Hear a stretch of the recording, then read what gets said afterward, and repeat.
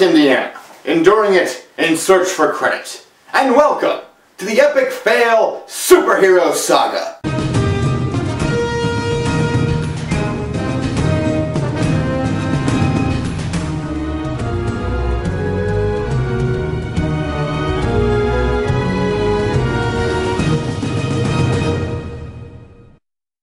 For this week's review, I look at the head honcho himself. The man who put super in the word superhero. None other than the one and only Superman. There's no denying the image of Superman and his effect in the media. Superman has made a name for himself in the movie world with several feature presentations. And I'll admit that, well, I've never cared for the films. Oh sure, I'll give props to the first two, and I even gave a spot to Superman 2 on one of my countdowns. Out of respect, over the years I've come to realize that I just don't care for this franchise. I mean, yeah, they had great effects in them, but when it really comes down to it, there just hasn't been a really compelling Superman movie. Well, I'm not looking at his first two films, or those other two movies. No, I'm going to be looking at Superman's Return to the Silver Screen, a movie entitled, well, Superman Returns. Superman Returns was supposed to be a turning point for the Man of Steel. With the likes of Batman making his way back to the silver screen, filmmakers were hoping that Superman would follow in the same footsteps. But Superman Returns received mixed reviews. Some thought the film was an outstanding addition to the comic book genre, while others, like Roger Ebert, thought the film was a major disappointment. So the general thought is split down the middle. Of course, on this show, that means little to nothing. So let's see how this movie truly stands in this review of Superman Returns. The film begins with a small introduction explaining that Superman has been gone from Earth for about five years, in search for the remains of Krypton.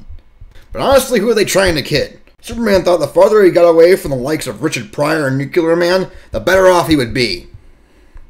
After the opening, we cut to a mansion where an old woman is on her deathbed. As she lays there dying, she gives all her wealth to apparently the only man she ever loved, who turns out to be none other than Lex Luthor, played by Kevin Spacey. So Luthor has spent the past five years peddling off old women. I'm uncomfortable.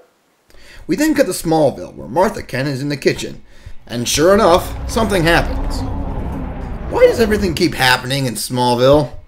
There some kind of bullseye or some sign for extraterrestrials that says land here?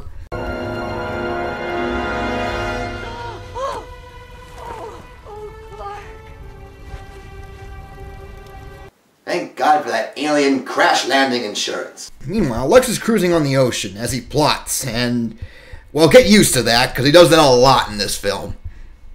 Lex arrives at the Fortress of Solitude, where he's about to infiltrate the Kryptonian computer system. Speak. Tell me everything. Very well. When I was a young Kryptonian, I was this one night where I had way too much to drink. And before you know it, I was stranded in a bar with a penguin. Back in Smallville, Clark wakes up and reminisces on his early days when he developed his powers.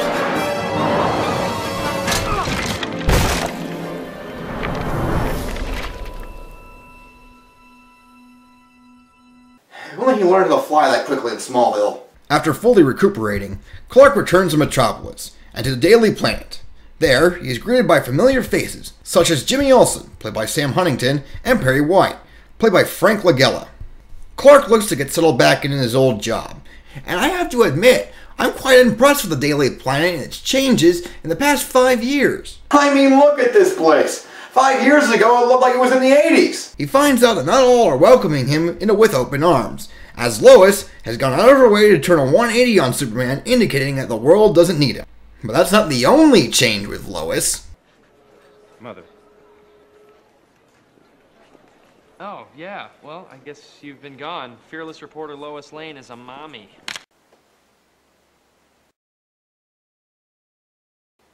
Right, I'm Batman. Lex returns to the mansion, where he decides to harness the power of the Kryptonian crystals.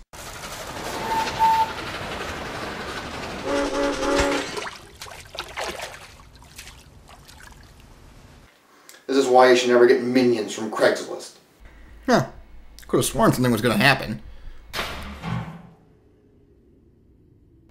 Oh, great, somebody turned off the movie. Due to Luthor's experiment, every electronic device short circuits because of one little shard.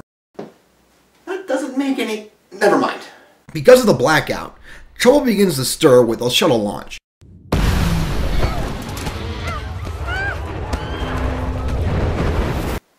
Series of unfortunate events. With this malfunction certainly causing trouble, this had to be somebody who had the power to do something. Some kind of person with superpowers. That could it be? It's it's it's it's Aquaman! Superman! I meant Superman. Superman is able to detach the shuttle, but not without the plane being hurled back into the atmosphere.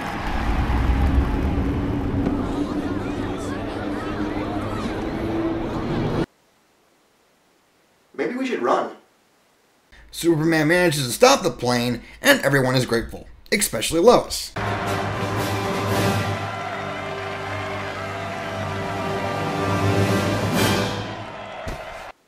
They used to date. Oh. Story is, of course, Superman, as everything about him must be known. Where he's been. Does he still stand for his beliefs? What kind of socks does he wear? While Lois objects to her story, Clark is greeted by Jake, Lois's son. And don't sit there and think you're in bizarre. Yeah, Lois has a son. Skin? Yeah, we were just talking. Did you take your vitamins? Yes. Eye drops? Yes. Albuterol? Yes. Poly-Vi-Flor? Did you have him when you were 12? Okay, does anyone believe Lois is supposed to be like in her 30s? Speaking of which, neither lead seems to fit their part. The blasted cats from Smallville look older. And I'm talking about Smallville the early years. We are then introduced to Richard, Lois's fiance, played by James Marsden.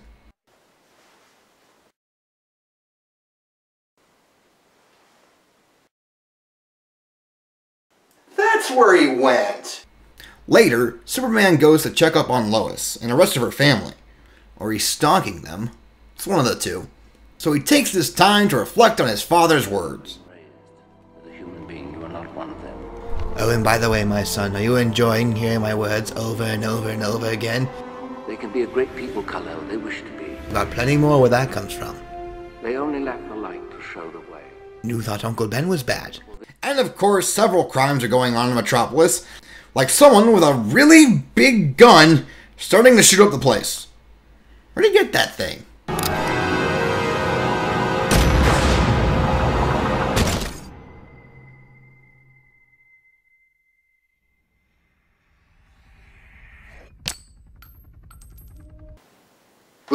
Listen, I just transferred from Gotham. I don't know any better. Another crime is also taking place, except this one has importance to it, as Luthor tries to kill his henchwoman, and who are we kidding, he's trying to do it. Luthor and the rest of his minions go to the museum to search for, you've guessed it, kryptonite.